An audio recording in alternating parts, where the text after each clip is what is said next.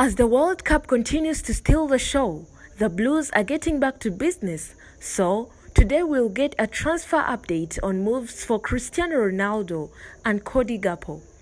Cristiano Ronaldo is set to decide where his future lies, and Chelsea have been urged to secure the striker's signature. Former Chelsea and Arsenal defender William Gallas has encouraged Graham Potter to sign Cristiano Ronaldo. The 37 years old was heavily linked with a move to Stamford Bridge ahead of the World Cup after he and Manchester United parted company.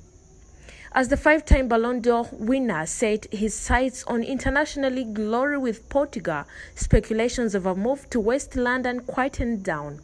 But after Ronaldo's side were knocked out of the World Cup by Morocco in the quarter-final, talks concerning his future have reignited, with Gallas urging the Blues to complete a deal. Ronaldo is yet to decide on his next transfer after rejecting a mega offer from Al Nassr earlier this month. Having earned £500,000 a week at Manchester United, he will have to reduce his salary significantly if he aims to remain in the Premier League. Chelsea would benefit from signing the Portuguese star because he has a point to prove. With Potter in the market for a new striker, Ronaldo has been touted as the ideal short-term fix as he looks to avenge a sorrowful end of the year. Ronaldo is understood to be keen to extend his career in Europe, however, and ideally wants to be given the platform to add to his record of 140 goals in the Champions League. Transfer specialist Fabrizio Romano thinks a move to Stamford Bridge can't be ruled out.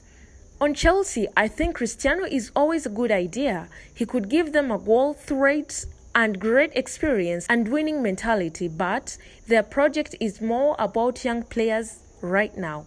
His former teammate Rio Ferdinand has said Ronaldo's next move will depend on what he wants to get out of the final years of his career.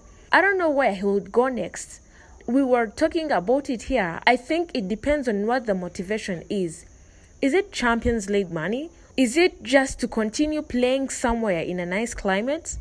Ronaldo has received offers from the Middle East and Australia, but he's seeking a Champions League club. The striker was earning around £500,000 a week at Old Trafford, but he'll have to heavily reduce his wage demands if he wants to remain in Europe.